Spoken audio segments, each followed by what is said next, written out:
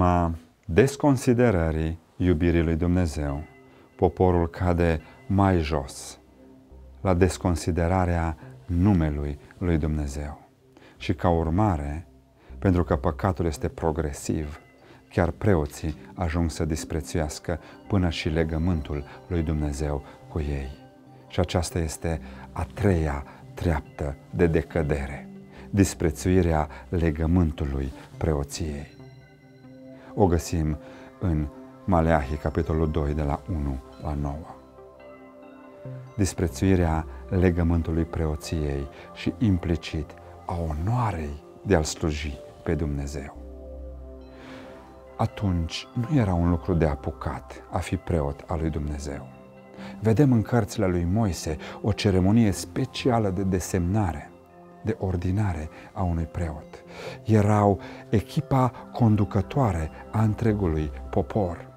Dumnezeu încheiase un legământ serios cu Levi, ca răsplată pentru devotamentul arătat de el. Să ne aducem aminte, la coborârea lui Moise de pe muntele Sinai, doar Levi se alăturase chemării Domnului în vederea pedepsirii poporului ce scăpase de sub control și se închinase vițelului de aur. Văzând separarea lor curajoasă de frații lor, Dumnezeu îl separă, îl pune deoparte pe Levi și seminția lui pentru a fi preoți. Apoi să ne aducem aminte, Fineas, din seminția lui Levi, în numeri, capitolul 25, întărătat de obrăznicia poporului, afundat în curvie cu fetele lui Lot. Când judecătorii lui Moise plângeau la ușa cortului întâlnirii, un bărbat a adus la frații lui o madianită sub ochii lui Moise. Fineas ia o suliță și străpunge pe cei doi chiar în timpul actului sexual. Dumnezeu, ca răspuns, face un legământ de pace cu Fineas și cu Levi implicit. Cu lucrurile acestea în minte, Dumnezeu mai face un apel urmașilor lui Levi și lui Fineas. De aceea îi menționează în prorocia lui. Uitați-vă la versetele 4 și 5. Dumnezeu le spune prin Maleahi, priviți, aduceți-vă aminte de zelul lui Levi și al lui Fineas, strămoșii voștri, priviți la gesturile lor radicale când numele Domnului a fost pângărit și priviți la voi acum. Cu ei am făcut legămintele, fiți și voi la înălțimea chemării divine. Cum puteți voi, urmașii celor care mi-au păzit numele, să mi-l pângăriți acum? versetul 6. Legea adevărului era în gura lui și nu s-a găsit nimic nelegit pe buzele lui. A umblat cu mine în pace și neprihănire și pe mulți i-a bătut de la rău. Cât de departe sunteți voi de ei, de el, de Levi? Tocmai de aceea Dumnezeu prin Maleahi își începe cuvântarea cu atâta tărie în cuvinte. Ascultați aceste cuvinte. Dacă nu veți asculta, dacă nu vă veți pune inima să dați slavă numelui meu, vă voi nimici sămânța și vă voi arunca bălegarul din măruntaiele jerfelor în față și veți fi luați împreună cu ele. De ce un astfel de limbaj? Limbajul este extrem de dur, foarte grafic. Dacă noi am rosti astăzi astfel de cuvinte de la învon, am fi sancționați. De ce folosește Dumnezeu un astfel de limbaj violent, dur? Pentru că păcatul este un lucru violent, foarte serios și devastator. Păcatul face diferența între viață și moarte, între viața și moartea veșnică. Și Dumnezeu nu se dă înapoi în a fi cât se poate de grafic ca să pricepem pornirea Lui împotriva păcatului. V-am acordat onoarea de a fi preoți.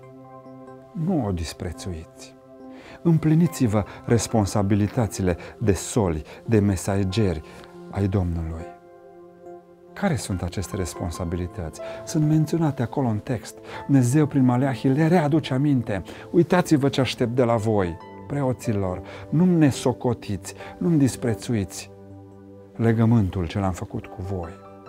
Care sunt aceste responsabilități ale voastre ca și preoți sunt acolo în text. Respect față de Dumnezeu, versetul 5, să se teamă de bine.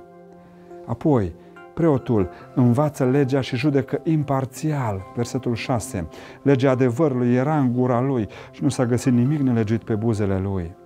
O altă responsabilitate a preotului este să trăiască ceea ce învață. Versetul 6. A umblat cu mine în pace și în neprihănire. Apoi o altă responsabilitate a preotului era să întoarcă pe alții de la păcat, versetul 6. Pe mulți i-a bătut de la rău. O altă responsabilitate a preotului era să păstreze cuvântul curat, să-l păzească de pervertire. Versetul 7. Buzele preotului trebuie să păzească știința. Dumnezeu îi mustră pe preoți pentru că disprețuiesc legământul făcut de Dumnezeu cu ei. Aplicațiile pentru noi astăzi? Maleahii este actual și astăzi. Deși astăzi nu mai există un ordin sacerdotal al preoților, paradigma nou testamentară afirmă că fiecare om din poporul lui Dumnezeu este un preot. Ei alcătuiesc o preoție sfântă. Deci, priviți cu respect la onoarea ce v-a fost făcută de a deveni copia lui Dumnezeu, preoți ai Lui și trăiți la nivelul chemării voastre. Altfel veți fi lepădați, ni se spune, ne spune Maleahi astăzi. Judecați-vă singuri ca să nu fiți judecați. Avem curajul unui astfel de evaluări? autoevaluări. Cuvântul Lui Dumnezeu ne vorbește și nouă astăzi. Și ajungem, odată cu Maleahii, să vedem a patra treaptă a decăderii poporului. Capitolul 2, de la versetul 10 la versetul 16. Disprețuirea legământului, căsătoriei după ce ai desconsiderat iubirea lui Dumnezeu față de tine, după ce ai desconsiderat numele Lui în fața anturajului tău, după ce legământul lui Dumnezeu cu tine l-ai disprețuit, l-ai nesocotit, te vei adânci și mai tare. Te vei despărți de Dumnezeu cu totul, îl vei schimba cu altul. Argumentarea lui Dumnezeu pleacă de la conceptul de responsabilitate colectivă versetul 10. Nu avem toți un singur tată? În alte cuvinte, avem o responsabilitate corporativă în ce privește conduita. Nu se poate să-L ofensezi pe Dumnezeu și să nu fie afectat aproapele tău. Și nici invers. Nu se poate să-L ofensezi pe aproape fără să-L ofensezi și pe Dumnezeu. Nu avem toți un singur tată, așa și începe Dumnezeu argumentarea. Azi, mulți cred că au dreptul personal de a păcătui, că păcatul este o alegere personală care îi afectează doar pe ei. Fals! Nici un om nu este o insulă. Păcatul tău nu este numai al tău, nu te afectează numai pe tine, ci pe toți cei apropiați. Dumnezeu le aduce două acuze. Acuza numărul unu, alipirea de lumea întunericului prin căsătorii cu păgânii. După ce ai disprețuit pe rând toate celea, iubirea lui Dumnezeu, numele Lui, legământul făcut cu El, ajungi să întorci spatele lui Dumnezeu, să te desprinzi de El, să nu mai asculți de El, să te lipești de lumea întunericului prin căsătorii cu păgânii. Versetele 11 și 12 s-a unit cu fica unui Dumnezeu străin. Observați mențiunea? Căsătoria în cadrul poporului nu era poruncită în Exod 34 din motive rasiale sau genetice, ci din motive spirituale. Ca nu cumva copilul lui Dumnezeu să fie atras la închinarea înaintea idolilor. Lucru cu consecințe veșnice, și anume nimicirea căsătoria în cadrul poporului, în Domnul, nu este poruncită din motive rasiale sau genetice, ci din motive spirituale, ca nu cumva lipindu-te de împărăția întunericului, să fii mâncat de ea. Dar după ce disprețuiești iubirea lui Dumnezeu, numele Lui, legământul cu El, te și desprinzi de El. Acuza numărul 2. Divorțul, dezlipirea unirii făcute de însuși Dumnezeu. Versetele 13 și 16. Dumnezeu duce aplicația în viața personală a omului. Divorțul, necredincioșia față de soția cu care a intrat în legământ are consecințe grave asupra familiei extinse, a națiunii și asupra venirii lui Mesia în lume. Sămânța dumnezească menționată în text. Luați seama în mintea voastră și nu fiți necredincioși, le spune Dumnezeu. Aplicațiile pentru noi astăzi, pentru că Maleahii are ceva de spus și omului modern. Aplicațiile ar putea fi următoarele. Căsătoria este mai mult decât un legământ între un bărbat și o femeie. Este și un legământ între două lumi spirituale. 2 Corinteni 6 cu 14 face foarte clar acest lucru. Nu vă înjugați la un jug nepotrivit cu cei necredincioși. Și atenție, aici nu vorbește despre a nu avea niciun fel de relație, ci vorbește despre a nu ne înjuga la un jug nepotrivit, adică discerne la ce fel de jug te legi, la ce fel de relație te legi. Despre aceasta e vorba. Nu spune să nu aveți nici o relație cu ei, spune să nu aveți relații nepotrivite cu ei. Că ce legătură este între neprihănire și fără de lege? Sau cum poate sta împreună lumina cu întunericul? Ce înțelegere poate fi între Hristos și Belial? Sau ce legătură are cel credincios cu cel necredincios? Cum se împacă templul lui Dumnezeu cu idolii? Căsătoria poate să fie cu cine vrei, dar în Domnul. Este de mare actualitate și cu o miză mare nu din motive rasiale, nici genetice, ci din motive spirituale. Relația de căsătorie este o relație specială și poate fi și este un jug nepotrivit dacă o faci cu un om care nu este în Domnul. Te lipești de o altă împărăție Căsătoria este mai mult decât un legământ între un bărbat și o femeie. Este un legământ între două lumi spirituale. Și asta nu poate merge înainte. Nu poate avea succes. Apoi, o altă aplicație pentru noi, căsătoria este un legământ serios și pe viață.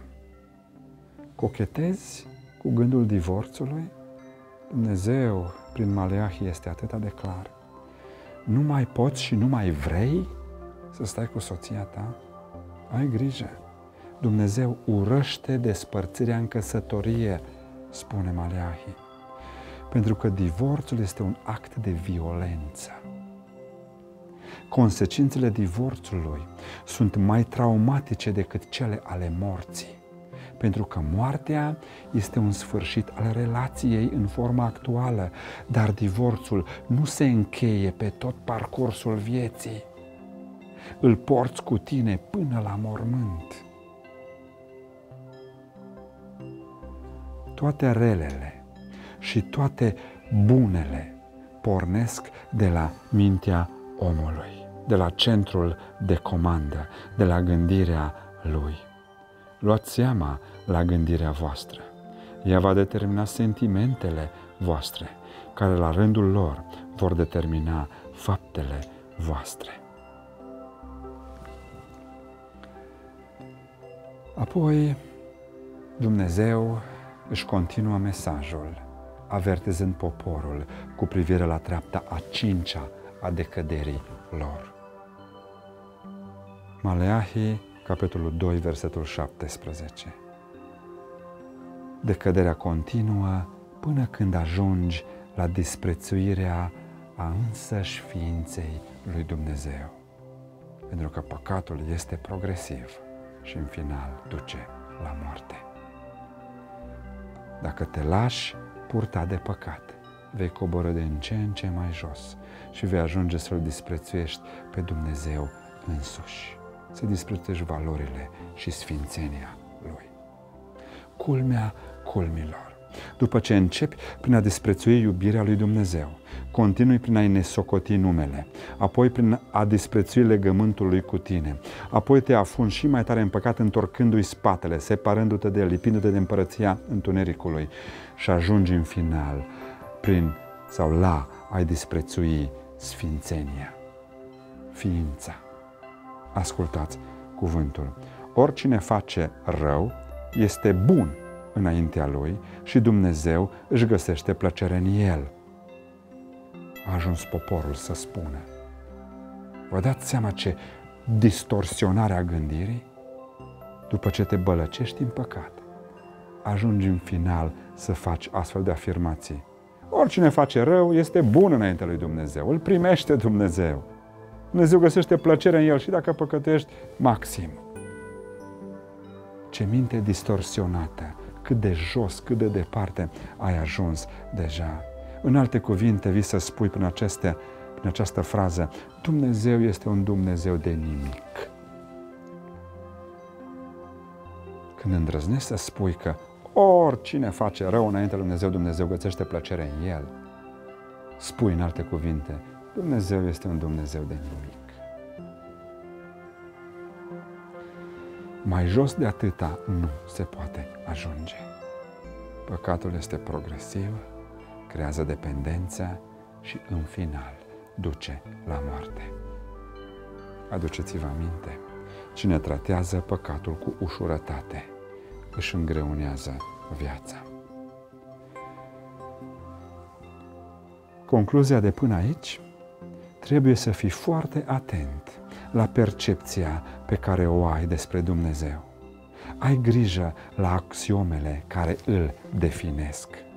Neglijarea, disprețuirea lor te conduce într-un proces cu consecințe fatale. Axioma este un adevăr fundamental admis fără demonstrație, fiind evident prin el însuși, spune dicționarul limbii române.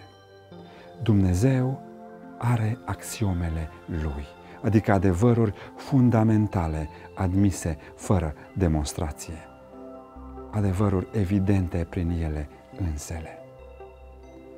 Care ar fi câteva din aceste axiome pe care riscăm să le disprețuim? Dumnezeu este o ființă iubitoare. Axiomă. Iubirea Lui nu i-o poate câștiga bunătatea ta și nici nu i-o poate anula răutatea ta. Tu o ai deja. În schimb, o poți respinge. Dumnezeu este o ființă duhovnicească sau spirituală.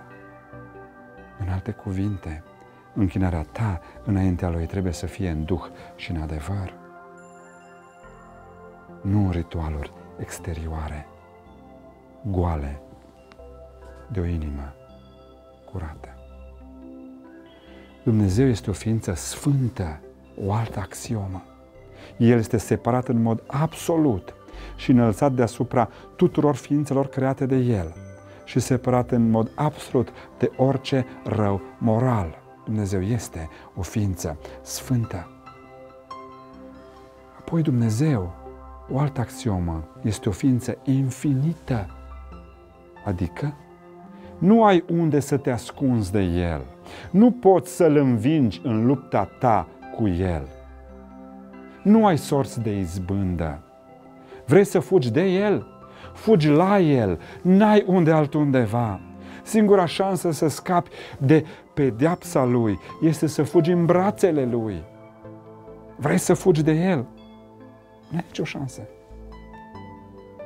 El este o ființă infinită. Vrei să fugi de El? Fugi la El. Dumnezeu este o ființă glorioasă. O altă axiomă.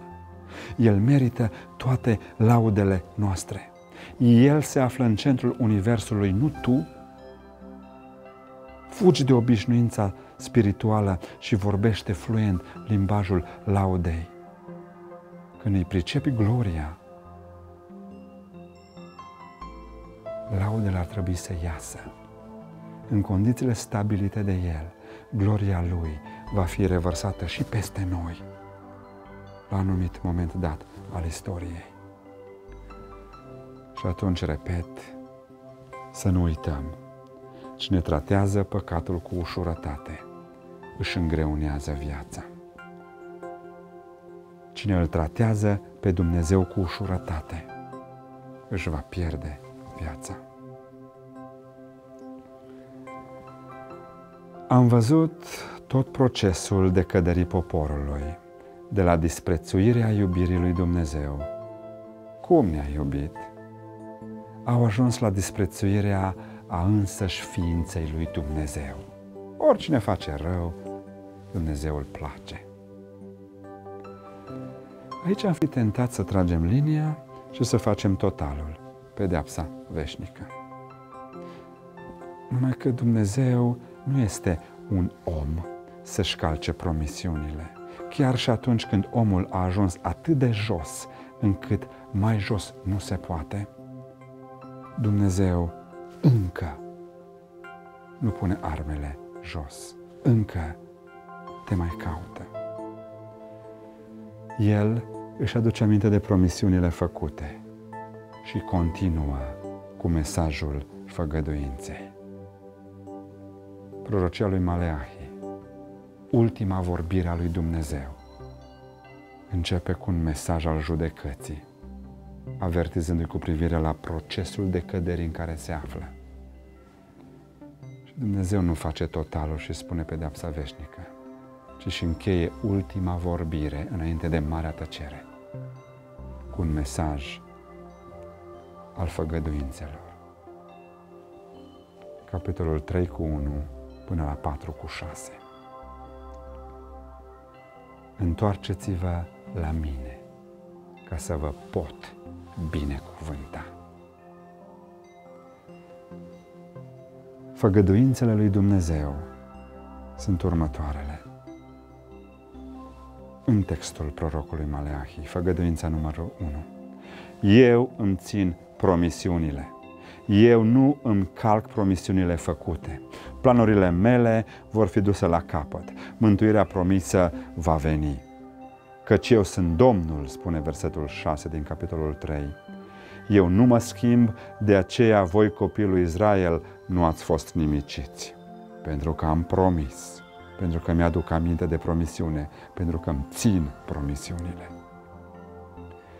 De aceea, pentru că îmi țin promisiunile, prima făgăduință, vă trimit solul meu.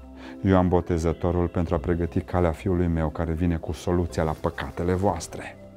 Vă trimit apoi solul legământului pe care îl așteptați, îl doriți pe Mesia, jertfa de ispășire pentru păcatele voastre, cel care va topi și va curăți. Eu îmi țin promisiunile, indiferent de modul în care mă tratați. În alte cuvinte, eu îmi voi face partea.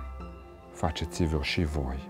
Întoarceți-vă la mine și mă voi întoarce și eu la voi, spune Dumnezeu. După tot păcatul acesta al nesocotirii lui Dumnezeu, Dumnezeu mai are resurse să spună, întoarceți-vă la mine și eu mă voi întoarce la voi? Da. Cum să ne întoarcem? Se întreabă poporul în versetul 7 din capitolul 3. Cum să ne întoarcem? Și Dumnezeu le dă răspunsul. Prin acte de închinare concrete, măsurabile. Și care este acela menționat? Zeciuiala. Lucru care îmi ridică întrebări.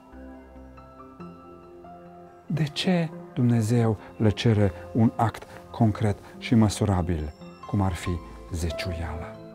O să vedem imediat. Se pare că poporul nu aducea zeciuielile pentru că seceta și bolile măcinau recoltele, ni se spune în versetele 10 și 11 din capitolul 3. Și astfel poporul îl frauda pe Dumnezeu. El justifica că nu pot aduce zecioală pentru că n-au recoltă. Ceea ce le transmite Dumnezeu este însă exact inversul.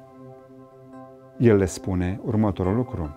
Sărăcia voastră este rezultatul neascultării voastre, nu cauza neascultării voastre. Voi nu din cauza că sunteți săraci nu-mi dați zeciuiala, ci sunteți săraci pentru că nu-mi dați zeciuiala. Asta le transmite Dumnezeu. Aplicația pentru noi? Poate fi Dumnezeu înșelat, fraudat, jefuit? Da. Zeciuiala este manifestarea exterioară a inimii care iubește și e plină de recunoștință. O recunoaștere a poziției sale, a ierarhiei. Asta este zeciuiala. Zeciuiala este o declarație a inimii, un semn prin care arăți că tu nu ești proprietarul, ci datornicul. Întocmai cum plătești chirie, recunoscând că nu tu ești proprietarul, tot așa plătești zeciuiala pentru a recunoaște că Dumnezeu este proprietarul. Este un semn de recunoștință față de cel ce îți face bine. Zeciuiala este un barometru spiritual. Altfel, cum să înțeleg această poruncă a lui Dumnezeu? Aduce zeciuielile la casa mea. Cum să ne întoarcem la tine? Și Dumnezeu răspune, aduceți zeciuielile la casa mea.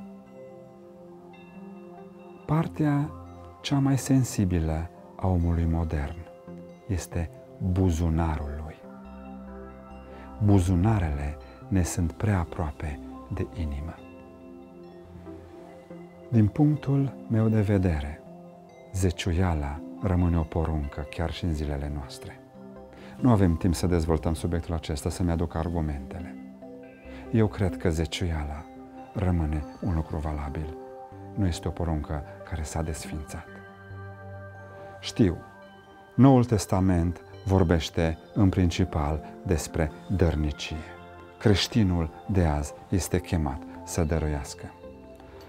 În timpul celei de-a treia călătorii misionare a lui Pavel, el le scrie corintenilor despre strângerea de fonduri pentru împlinirea nevoilor credincioșilor persecutați din Ierusalim. Cuvintele lui de acolo ne oferă instrucțiuni practice legate de dăruire.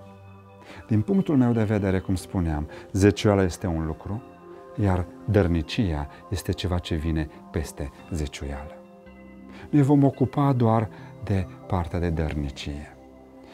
Pavel dă următoarele instrucțiuni celor din Corint. Instrucțiuni care ne pot folosi și nouă astăzi să ne organizăm dărnicia personală. El spune următoarele lucruri în 1 Corinteni, capitolul 16, cu versetul 2. În ziua din tâia săptămânii, fiecare din voi să pună deoparte acasă ce va putea după câștigul lui, ca să nu se strângă ajutoarele când voi veni eu.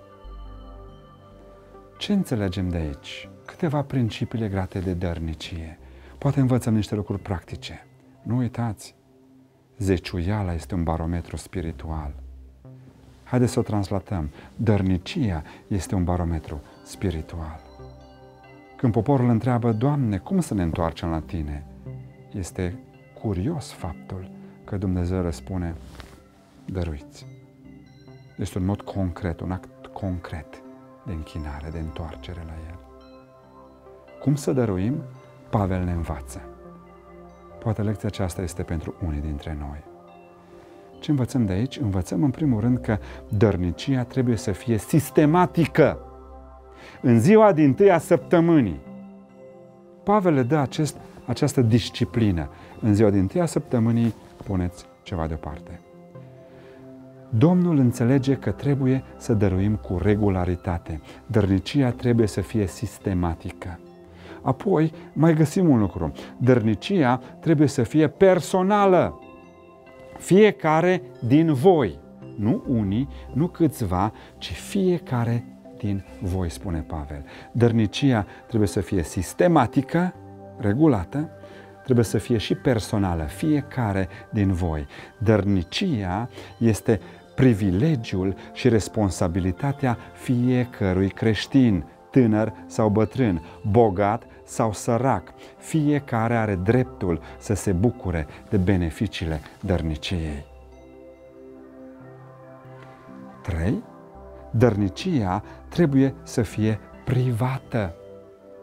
Fiecare din voi să pună deoparte acasă. Este treaba ta. Nu te afișa cu cât dai. Este între tine și Dumnezeu. Apoi, în al patrulea rând, dărnicia trebuie să fie premeditată, gândită. Ce va putea după câștigul lui, spune Pavel. Fiecare să dea după cum a hotărât în inima lui, ne spune în 2 Corinteni 9 cu 7 lucrul acesta.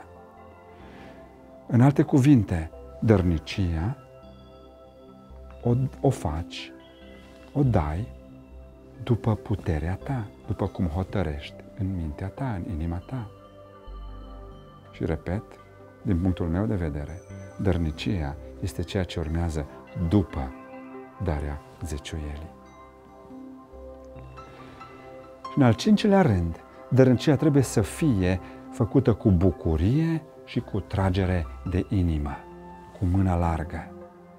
Tot în 2 Corinteni 9 cu 7 continuă textul. Fiecare să dea după cum a hotărât în inima lui, nu cu părere de rău sau de silă, căci pe cine dă cu bucurie îl iubește Dumnezeu, îl răsplătește Dumnezeu. Cred că suntem mai săraci pentru că dăruim puțin. Versetele 10 la 15 încredeți-vă în mine și vă voi binecuvânta, spune Dumnezeu prin Maleahi. Nu vă uitați că celor răi le merge bine deocamdată și celor buni pare să că nu. Încredeți-vă în mine, aduceți-vă zeciuielile la casa mea și vă voi binecuvânta. Să nu credeți că sărăcia voastră este cauza lipsei dărniciei. Nu. Sărăcia voastră este rezultatul lipsei dărniciei. Un mare adevăr de viață. Am văzut făgăduința numărul 1. Eu îmi țin promisiunile. Eu o să am grijă de voi. Întoarceți-vă la mine și eu mă voi întoarce la voi. Apoi urmează făgăduința a doua. Aceia care mă onorează vor fi onorați de către mine. Maleahi 3 cu 16 spune așa. Atunci, cei ce se tem de Domnul au vorbit adesea unul cu altul. Foarte interesantă fraza aceasta pusă acolo în text. De fapt, o predică întreagă se poate extrage din aceste câteva cuvinte. Doar câteva observații să facem, cu câteva aplicații pentru noi. Textul spune așa, cei ce se tem de Domnul. Adică, stai puțin, până acum criticai poporul pentru decăderea lui. Când Maleahi vine să spună cei ce se tem de Domnul, ne transmite de fapt că întotdeauna există o rămășiță de oameni credincioși lui Dumnezeu. Unii ascultă îndemnul lui Dumnezeu și se întorc la El. Indiferent cât de decăzută poate fi comunitatea, societatea în care trăim, întotdeauna mai sunt câțiva care se tem de Domnul.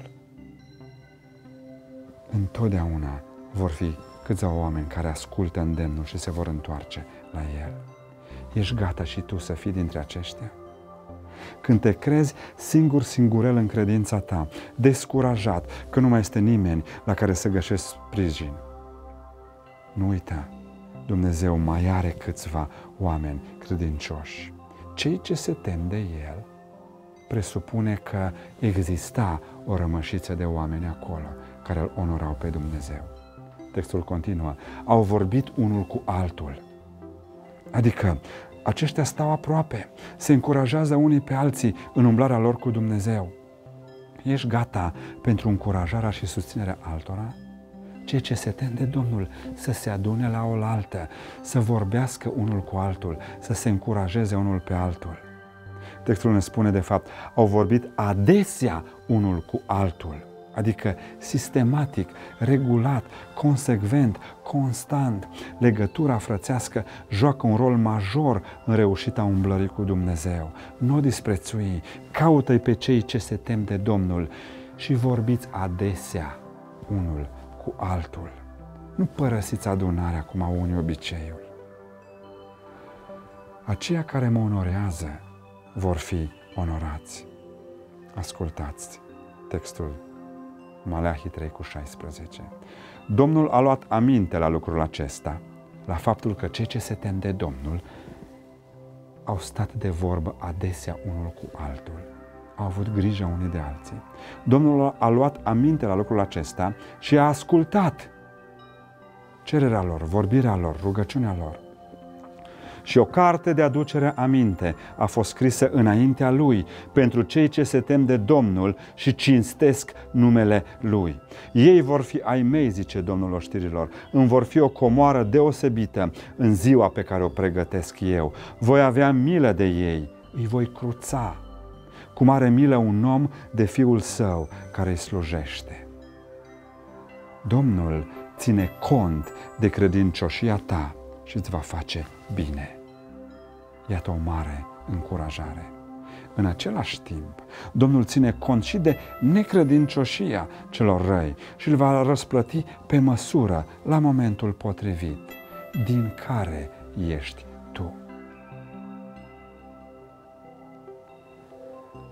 Dacă ar fi să concluzionăm întregul mesaj al lui Maleahi, ultima vorbire a lui Dumnezeu, înainte de marea și lunga tăcere de 400 de ani.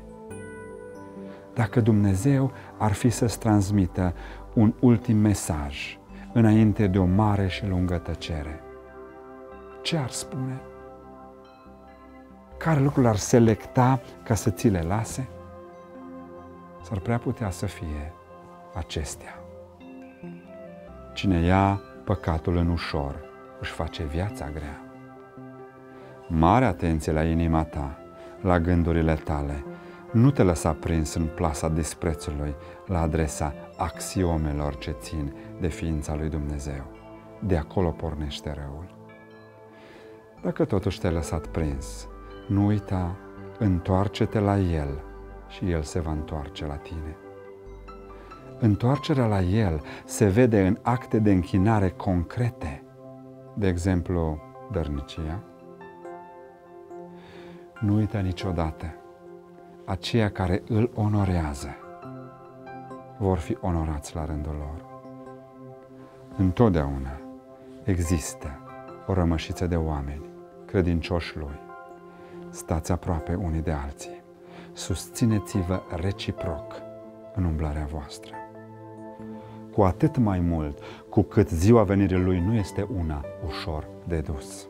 Cine va putea să sufere ziua venirii Lui? Cine va rămânea în picioare când se va arăta El?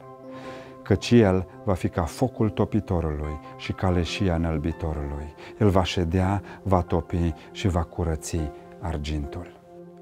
Dar pentru voi, care vă temeți de numele meu, va răsări soarele neprihănirii și temăduirea va fi sub aripile lui veți ieși și veți sări ca viței din grajd și veți călca în picioare pe cei răi, că cei vor fi ca cenușa sub talpa picioarelor voastre în ziua pe care o pregătesc eu, zice Domnul oștirilor.